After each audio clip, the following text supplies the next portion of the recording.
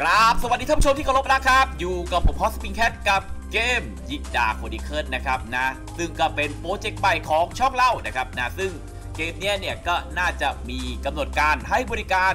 เซิร์ฟเวอร์ไทยของเรานะครับผมนะประมาณมกราปีหน้านะครับนะดังนั้น เพื่อเป็นการเตรียมตัวนะครับผมนะเราก็มาศึกษาในส่วนของแนวทางการเล่นเกมก่อนที่ตัวเกมจะเริ่มกันแล้วกัน โดยคลิปนี้จะเน้นในเรื่องของการ re ID และก็ตัวที่คอนะครับผมที่เราควรจะเปิดหาเริ่มต้นนะครับนะโดยตัวละครครับผมนะที่ได้รับความนิยมในการรีหาช่วงต้นมากที่สุดครับผมก็คือ ตัวที่หลับ S เลยครับ ตัวชื่อว่าสเตฟานีนะครับนะโดยสเตฟานีเนี่ยเป็นตัวละครที่ถือว่า เก่งนะครับและก็ใช้ในทุกคอนเทนต์เลย และตัวของสเตฟานี่เนี่ยก็เป็นตัวละครที่ ถ้าเกิดใครที่ต้องการจะเล่นจริงจังเกมที่ยาวๆนะครับผมนะผมแนะนำว่าควรรีหาตัวละครตัวนี้ก่อนใครเพื่อนเลยนะครับนะส่วนต่อมาครับผมนะก็คือในส่วนของตัวละคร rank A นะครับนะจะขอไล่เลยนะครับนะก็คือยูเลียอาบิสนะครับผมแล้วก็อิสกะนะครับนะ โดยต้องบอกไว้ก่อนว่ายูเลียเนี่ยข้อดีครับผมก็คือจัดทีมง่ายนะครับนะถ้าเกิดใครที่ขี้เกียจ re หานะครับนะตัวละครตัวเนี้ยคือเป็นตัวละครที่ควรจะเริ่มต้นหยิบมาเลยซะด้วยซ้ำเพราะว่าสามารถใช้ตัวละคร 1 ดาว 2 ดาวในการจัดปาร์ตี้ครับผมนะสำหรับใครที่ขี้เกียจ re หานะตัวละครตัวนี้ถือว่าเริ่มต้นได้ดีมากนะแล้วก็สามารถทำ damage ได้ดีมากตามไปด้วยนะครับนะต่อมานะครับผมก็คือตัวของอาบิสนะครับอาบิสเนี่ยถ้าเกิดใครเล่น หาสเตฟานี่มาแล้วนะครับนะผมแนะนำเลยว่าตู้ start dash เนี่ยคุณเอาตัวของอาบิสมาเลยเพราะว่าอาบิสครับผมเป็นสาย support นะครับผมนะที่เรียกว่าดีมากๆนะครับนะยิ่งถ้าเกิดเอามาเล่นคู่กับสเตฟานี่นะครับนะที่เป็นตัวละคร rank S เนี่ยยิ่ง perfect เลย ดังนั้นนะครับผมนะสองตัวเนี้ยคือตัวละครถ้าเกิดใครสตาร์ทนะมีสเตฟานี่กับอาบิสช่วงต้นเกมนะครับคุณสบายๆเลยนะหลักๆนะครับนะ ต่อมานะครับผมตัวของอิสกะนะครับอิสกะเป็นตัวละครที่เรียกว่าครบเครื่องด้วยตัวเองเลยนะครับนะเป็นตัวละครที่มี damage เดี่ยวที่รุนแรง damage หมู่ที่ดีนะครับนะอะก็ถือว่าเป็นตัวละครที่ดีมากอีกตัวหนึ่งครับนะต่อมาครับผมนะก็คือในส่วนของแรงบีนะครับนะโดยแรงบีนะครับผมก็จะไล่ตามชื่อต่อไปนี้เลยนะครับนะก็คือตัวของ มิโคโตะนะครับนะจะเป็นตัวเน้นเรื่องของการฮิวนะครับนะซึ่งมิโคโตะเนี่ยจะไม่มีในส่วนของตู้เริ่มต้นนะครับนะตู้สตาร์ทแดนะครับนะต่อไปครับผมนะตัวที่2ครับผมแพทริเซียนะครับนะเป็นตัวละครที่เรียกว่าดีมากนะอ่าเพราะว่ามีการบัฟฟื้นฟูให้กับพารามิดนะครับผมและก็สร้างความเสียหายในเวลาเดียวกันนะครับนะอ่านะครับนะแล้วก็ต่อไปนะครับผมนะตัวที่3นะครับตัวของอ่าซันเดเรนะครับนะตัวละครตัวนี้จะเป็นในเรื่องของการตีอ้อนะครับนะก็ ถ้าไม่นับตัวของสเตฟานีซึ่งเป็นตัวท็อปในเรื่องของการตีออแล้วเนี่ย ตัวละครตัวนี้ก็จะเป็นตัวละครรองมาเลยก็ว่าได้นะครับนะก็ตัวสุดท้ายของเราครับผมนะดอกอดิก้านะครับนะเป็นตัวละครที่ดีมากเช่นเดียวกันนะครับนะในเรื่องของการbuff นะครับผมป้องกันนะครับผมให้กับปาร์ตี้อะโอเคนะครับนะรวมๆก็จะประมาณนี้ ต่อไปนะครับผมเนี่ยก็คือตัวละคร rank C นะครับนะ rank C เนี่ยก็คือตัวแรกเลยที่อยากจะพูดถึงก็คือตัวของโรเลต้านะครับนะตัวหัวฟ้านะครับตัวหัวฟ้าโรเลต้าตัวนี้จะไม่มีในส่วนของตู้ start dash นะก็ถือว่าเป็นหนึ่งในตัวละครที่มีประโยชน์มากครับนะมีทั้งความสามารถในการฟื้นฟูปาร์ตี้และก็ทำ damage ให้กับพร้อมๆ กันในตัวเดียว ถือว่าเป็นหนึ่งตัวที่ครบเครื่องมากนะครับนะใช้งานค่อนข้างจะง่ายนะครับนะ ต่อมานะครับผมนะตัวของนายุตะนะครับนะก็จะเป็นตัวละครโจมตีสุ่ม 3 ครั้งนะครับนะก็ใครที่ต้องการตีทีก็จัดไปได้เลยนะครับนะอะต่อไปนะครับผมนะตัวของฟูโกะนะครับแบบตัวนินจานะครับนะก็เป็นตัวที่บัฟแล้วก็ตีแรกหลักๆ เลยนะก็เป็นตัวที่ง่ายมากครับผมก็คือบัฟเองตีเองสั้นๆนะเรียบง่ายจริง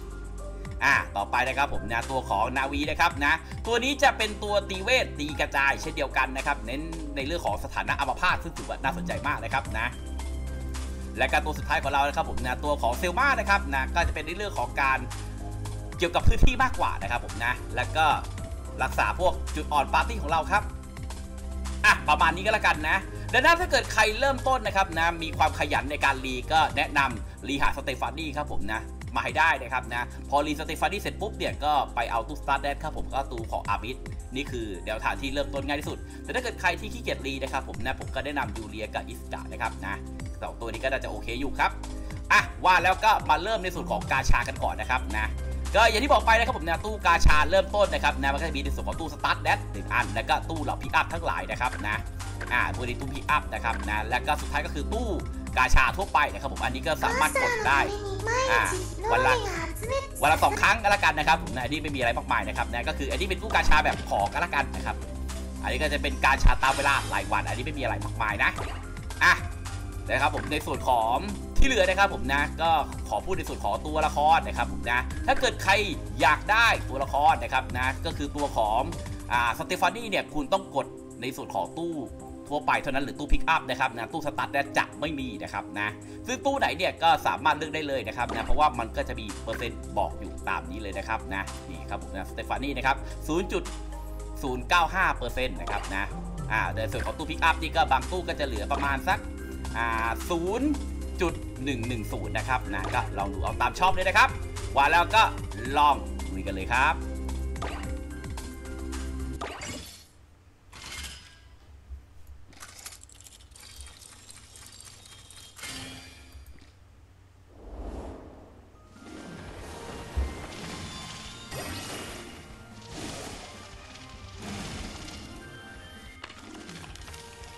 โอ้โห สุดยอดเลยครับ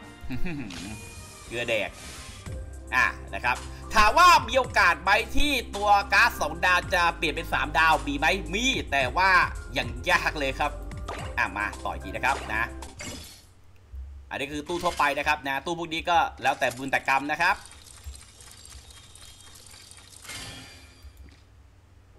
เกลือแดกเลยครับ อือหือสุดยอด ในกรณีที่ได้ตัวละครซ้ำนะครับนะมันก็จะเปลี่ยนเป็นเศษเกลือ อันนี้ก็ถ้าเกิดใครเคยผ่านบัวคล้ายมาก็ปินหรือ B หรือ BA ก็คอนเทนต์เดียวกันครับนะ แต่ลักษณะลงคล้ายๆกับบัวคล้ายมากกว่านะประมาณนี้อ่าก็เกลือแดกนะครับสั้นๆอ่าก็ประมาณนี้นะครับนะ อะก็โอเคนะครับนะที่เหลือก็อาจจะกดเพิ่มก็ได้นะครับผมนะมันอาจจะมีเศษเกินเศษนิดเศษหน่อยครับผมเผื่อใครสนใจอยากจะลองลุ้นนะครับนะอ่ากดให้ครบครบก่อนก็ได้แล้วค่อยรีก็อะไรก็ว่ากันไปนะครับนะเนี่ยนะลองลองดูนะครับ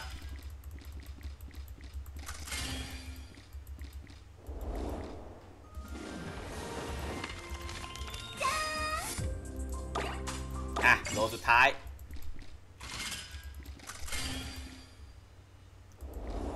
สมมตินะครับผมนะเรากดได้กาชาอ่าสามดาวที่เราต้องการแล้วนะครับนะก็ทีนี้เราก็จะมาดูในส่วนของตู้สตาร์ทแดกันนะครับนะโดยตู้สตาร์ทแดนะครับนะมันจะมีตัวคาชาก็ประมาณนี้เท่านั้นนะครับนะก็บางตัวก็ไม่ได้ว่ามีครบทุกตัวนะในส่วนของตัวละคร3ดาวนะครับนะอะแล้วเกิดกดขึ้นมาปุ๊บนะครับ มันจะให้เราสามารถรีหาได้ร้อยครั้งเลยนะครับนะเรียกว่าคือ ได้ชัวร์ๆสามดาวชัวร์ๆเลย โดยจะบังคับไม่ให้เราได้ 3 ดาว 2 ใบนะครับนะ คือยังไงก็ตามคุณจะได้ 3 ดาวแค่ 1 ใบเท่านั้น คุณไปรอลุ้นตัวละคร 2 ดาวเอาได้เลยนะครับนะ อะครับนะก็การันตีแน่นอนครับ ในส่วนของตัวละคร 3 ดาว แต่จะออกแค่ 1 ใบเท่านั้นนะครับนะดังนั้นใครจะรอลุ้นประมาณว่าเฮ้ยสลีจนหา 3 ดาว 2 ใบในอันนี้ไม่เจอเด็ดขาดนะครับนะ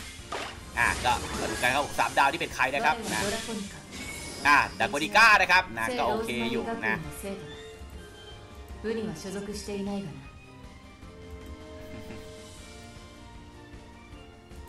อ่าโอเคนะครับนะ พอเราเลือกเสร็จปุ๊บนะครับผมนะมันก็จะมีให้เราเลือกนะครับผมนะว่าเอาต่อไหมนะครับนะอันนี้ก็คือในส่วนของการกดกาชารีใหม่อีกรอบนึงนะครับนะก็คือไม่แบบไม่เอาตัวนี้รีใหม่นะครับนะปื๊ดนะครับนะรีไปเรื่อยอ่ามันการันตีอยู่แล้วนะ แต่มันจะให้แค่ 3 ดาวแค่1ใบเสมอดังนั้นไม่ต้องรีหารอบอื่นเลย อ่าโอเคนะครับนะเดี๋ยวมากก็แค่ไปดู 2 ดาวกับตัวละครที่เราอยากได้แหละหลักๆนะครับ ユリアだ一応ポール・ボスクの漁師だがここでは危機 อ่านี่ครับผมก็คือตัวของยูเรียนะครับนะ สมมติเราชอบเอ้ยผมว่าเฮ้ยเราเริ่มต้นเกลือแล้วเราใช้ยูเรียเป็นตัวเติมเปิดนะครับนะเราก็สามารถกดตรงนี้ครับผมอันนี้แค่ยืนยันเฉยๆนะครับว่าเราจะเอายูเรียเป็นตู้ที่เราต้องการนะครับนะยังนะคือคือยังไม่ได้เฉยนะครับนะ เราสามารถกดรีต่อได้นะครับนะรีต่อได้อ่านะครับนะ ซึ่งแน่นอนว่ายูเรียที่เราเลือกไปก่อนอันนี้คือมันแค่ล็อกไว้เฉยเผื่อเราเจอตู้ที่ดีกว่ายูเรียนะครับเราก็สามารถเปลี่ยนได้เช่นเดียวกัน マルルです戦慄の者 อ่านะครับนะ 聖ローズマリー学院図書館管理人のあメนะครับ イビス นะ です เบบิสนะครับ すみませんお話しするのはあまり得意じゃなくて ่านะครับนะน้องเบบิสของเรานะครับนะอ่าสมมตินะครับนะว่าเฮ้ยเผอิญเราอยากเล่นเบบิสพอดีครับนะก็อันนี้ก็คือเราสามารถกดยืนยันนะครับผมเพื่อทับของเก่าก็ได้ หรือจะเปรียบเทียบนะครับผมนะตู้กาชาที่เราต้องการก็ได้นะก็อันนี้ก็คือประมาณว่าเปรียบเทียบก่อนก็ได้ แล้วก็สามารถเลือกได้ว่าจะจะล็อกตัวไหนนะครับนะถ้าเกิดขึ้นมานี่คือล็อกแล้วเอาเลยนะครับนะถ้าเกิดกดอันนี้คือจบแล้วนะครับ อันนี้คือเราเลือกเลยนะ อันนี้ก็คือเปลี่ยนตัวล็อกนะครับนะ แล้วก็ไม่พอใจก็รีใหม่อีกรอบหนึ่งนะครับนะ อันนี้ก็ได้เหมือนกัน ซึ่งตอนนี้ผมล็อกเป็นตัวของยูเลียนะครับนะ トニアよ อ่านะครับนะสามดาวตัวถัดไปนะครับ 戦慄の日々ライト นางินะครับ อืมฮึ あまり私に関わらない方がいい影に潜む者慣れ合いは不要だ ก็ฟูนะนางิแหละครับ หลักๆนะครับนะ ฟูโกะนางินะครับนะ เนี่ย โอเคนะครับนะ ก็ลองไปดูได้นะ สมมตินะครับนะว่าเราพอใจกับตู้ของยูเรียนะครับนะเราก็สามารถกดบ้านะครับ แล้วก็เลือกตู้ยูเรียก่อนอันนี้นะ เป็นการยืนยัน อันนี้คือเลือกแล้วจบเลยนะครับนะจบปุ๊บนี่คือยืนยันคือจบแล้วนะก็พอจบปุ๊บเราก็จะได้ตู้ของยูเรียทันทีนะครับนะทีนี้ผมก็เรียบร้อยแล้วครับในส่วนของตู้ start dash นะครับแต่ถ้าเกิดเราไม่พอใจหรือเกลือขึ้นมานะครับผมนะ รีไอดียังไงนะครับผมก็ไปทางด้านขวาบนนะครับนะกดปุ๊บนะครับแล้วก็มาที่ไอคอน account นะครับนะพอกดตัวนี้ขึ้นมาปุ๊บนะครับนะแล้วก็ทำการเลือกในส่วนของฝั่งขวาบนนะครับผมเป็นการอ่าเลือกในส่วนนี้เรียบร้อยนะครับนะจากนั้นก็พิมพ์ภาษาญี่ปุ่นนะครับนะซึ่งถ้าเกิดใครพิมพ์ไม่ได้ครับอ่าตัวภาษาอยู่ด้านใต้ description นะครับนะก็ในส่วนของภาษาอังกฤษก็หรือถ้าเกิดเซิร์ฟเวอร์ไทยเปิดมาก็อ้างอิงจากตรงนี้เอาไปก็แล้วกัน อ่าพอกดมาปุ๊บปุ๊บนี่นะเราก็พิมพ์ตามนี้เรียบร้อยนะครับนะแล้วกดโอเคนะครับนะทีนี้เราก็กลับมารีได้เลยครับ โดยการรีขึ้นมาเนี่ยเราก็กดนะครับผมไอดีเกรไปก่อนนะ จนกว่าจะได้ไอดีต้องการ พอเจอไอดีต้องการแล้วค่อยผูกไอดีให้เรียบร้อยนะครับนะพอเสร็จปุ๊บเนี่ยเราก็ทำการ skip tutorial ให้เรียบร้อยนะครับนะก็เริ่มต้นเนี่ยถ้าเกิดใครมาเล่นครั้งแรกเนี่ยคุณต้องทน tutorial ไปก่อนประมาณ 10นาทีนะครับนะจากนั้นเนี่ยก็พอเคลียร์เสร็จปุ๊บเนี่ยก็เข้าด่านกาชาก็เข้าช่วงต้นได้เลย ทีนี้ก็ไม่ต้องมาเสียเวลามาเรียน tutorial แล้วนะครับ เราก็กลับมาเริ่มต้นตัวนี้ได้เลยนะครับนะอะโอเคนะครับนะมาแล้วก็เหมือนเดิมครับผมนะเพชรเราก็มีให้เหมือนเดิมที่เหลือก็ไปลุ้นในเรื่องของกาชากันได้เลยนะครับนะก็เริ่มจากตู้ทั่วไปก่อนนะครับนะเพราะว่าส่วนใหญ่เราจะรีหาสเตฟานี่กันเริ่มต้นเลย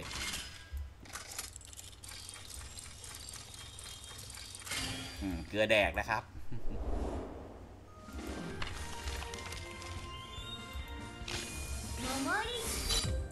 อ่ะอีกสักนิดนึงนะครับ ดูดิ จะโชคดีไหมเนี่ย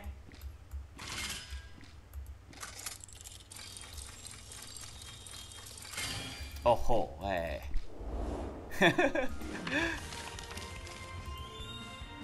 戦慄の森 อ่ะ มาดูอีกรอบนึงดิ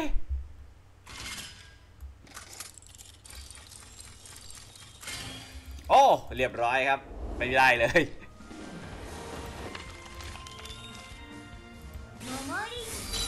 อะก็ประมาณนี้ก็แล้วกันครับ ในส่วนของแนวทางการเล่นรีไอดีนะถ้าไม่พอใจขึ้นมาสตาร์ทเนี่ยคือเอาแค่ตอนที่เราหาตัวละคร 3 ดาวที่ต้องการให้ได้ก่อนดีกว่า แล้วพอได้ขึ้นมาปุ๊บเนี่ยเราก็ค่อยไปกดสตาร์ทแนวทางไม่พลาดนะครับผมเนี่ยก็รีไอดีได้เลยนะครับเหมือนเดิมกดขึ้นมาแอดเคาท์นะครับผมนะขวาบนแล้วก็กดขึ้นมาปุ๊บแล้วก็กดคำสั่งเดิมนะครับนะ แค่นี้ก็กลับมารีใบรอบอีกได้นะครับนะก็รีเรื่อยๆครับผมจนกว่าเราจะพอใจนะครับนะอ่าโอเคครับก็จบไปเรียบร้อยครับผมในส่วนของแนวทางการรีไอดีนะครับผมนะรวมถึงตัวละครที่ควรเปิดหาช่วงต้นเกมนะครับผมของ Yggdra Chronicle นะครับนะถ้าเกิดเกมเปิดเมื่อไหร่ก็ ถ้าเกิดมีการเปลี่ยนแปลงนะครับผมไม่เหมือนในส่วนนี้ก็ต้องขออภัยณที่นี้ด้วยนะถ้าเกิดรีไอดีมาแล้วเซิร์ฟเวอร์เปิดมาแล้วฝั่งของภาษาไทยเนี่ยมันไม่เหมือนกับภาษาญี่ปุ่นนะครับนะยังไงก็ ฝากกดติดตามก่อนละกัน ทางช่องเราจะมีการทำคอนเทนต์ออกมาเรื่อยๆนะครับวันนี้ผมฮอสพิแคทขอตัว ลาไปก่อนแล้วเจอกันใหม่คลิปหน้านะครับ ฝากกดติดตาม กดไลค์กดซับสไครต์แล้วก็กดกระดิ่งกันด้วยนะครับ บ๊ายบาย สวัสดีครับ